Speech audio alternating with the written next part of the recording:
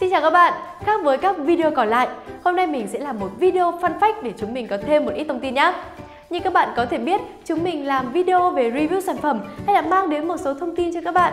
Và tất nhiên là các bạn có thể xem các video trên YouTube và biết rằng nền tảng này cho phép kiếm tiền trên YouTube. Tất nhiên là tụi mình vẫn chưa kiếm được xu nào, Tuy nhiên, theo thống kê của YouTube thì trong năm 2018 có những YouTuber ở nước ngoài kiếm được cực kỳ nhiều tiền và chắc chắn là bạn biết một trong số những cái tên đó là ông hoàng YouTube PewDiePie hay là gamer YouTuber Markiplier. Vậy thì hôm nay các bạn hãy cùng mình điểm qua top 10 gương mặt được tìm kiếm nhiều nhất trên YouTube nhé.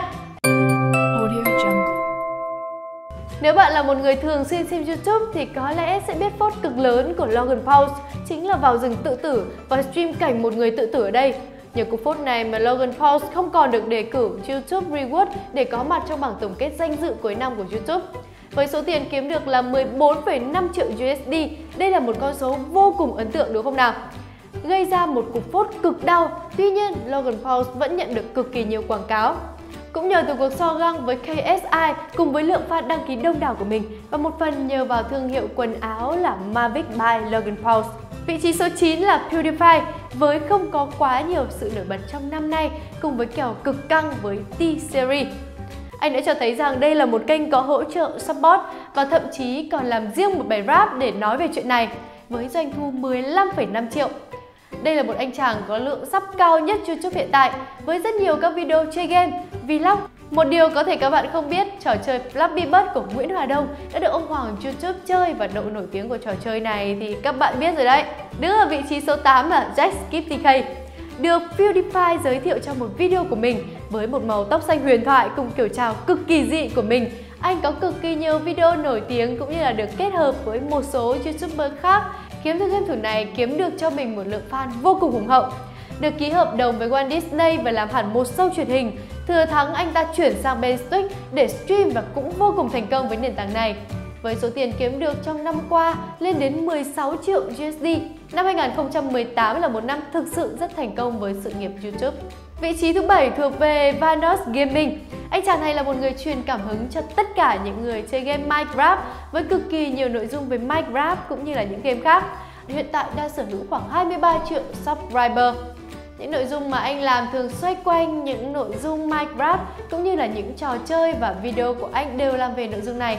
Với doanh thu trong năm 2018 lên đến 16 triệu USD thì đây là một số tiền không hề tồi đúng không ạ? Vị trí số 6 thuộc về Matt Killer, một anh chàng hài hước đến từ Hawaii cùng với kênh youtube của mình mang chủ đề gaming.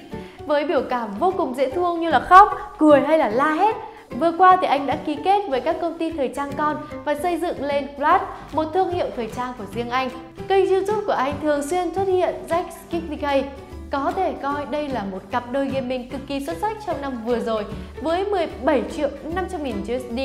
Doanh thu của anh có thể chứng tỏ một năm kết hợp rất tốt với bạn bè cũng như là sự nỗ lực của bản thân mình. Vị trí số 5 thuộc về Jeffree Star, anh chàng beauty vlogger cực kỳ nổi tiếng, tuy nhiên có một tính cách cực kỳ toxic và vô cùng điệu đà. À, tuy nhiên cùng với những nội dung mà anh chàng làm ra, song song với đó là cách nói chuyện vô cùng hài hước, khiến cho anh có một lượng fan vô cùng hùng hậu. Có thể nói đây chính là kênh youtube của Nam mà có lượng subscribe là nữ gần như cao nhất trên youtube. Với việc ra mắt thương hiệu của riêng mình là Zfree Star Cosmetics mà anh đang dần bước tới một công việc kinh doanh cho riêng mình với doanh thu trong năm 2018 là 18 triệu USD, có lẽ đây sẽ là một con số doanh thu cực kỳ đáng mơ ước đối với các bạn beauty vlogger. Vị trí số 4 thuộc về Dam TDM, là một gamer nổi tiếng cũng nhờ vào tựa game Minecraft nổi tiếng hiện nay. Tên thật là Daniel Midleton vào năm ngoái, chính anh là người đứng đầu trong thống kê YouTube và doanh thu trong năm vừa qua. Anh cũng đã đưa thương hiệu quần áo với việc logo TDM của mình lên những sản phẩm như vậy.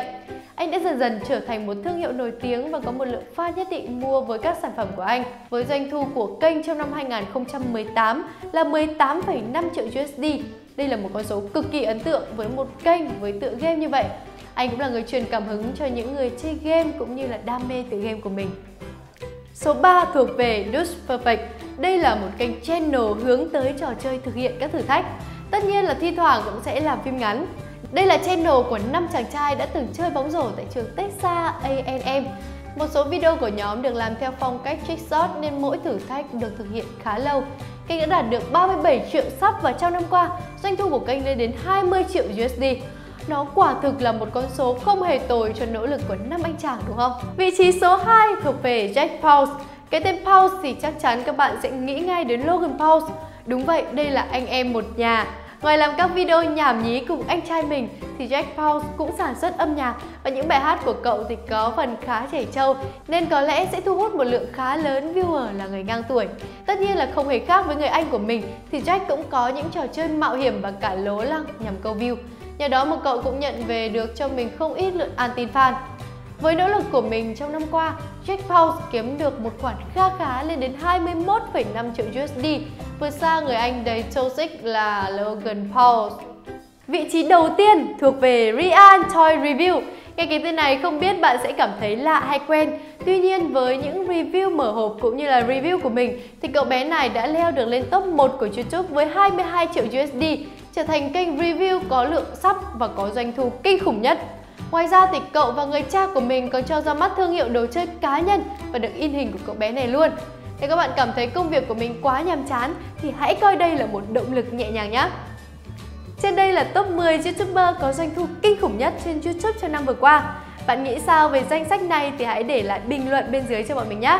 Nếu thấy video này hữu ích thì đừng quên bấm like và subscribe để ủng hộ chúng mình. Còn bây giờ thì xin chào và hẹn gặp lại!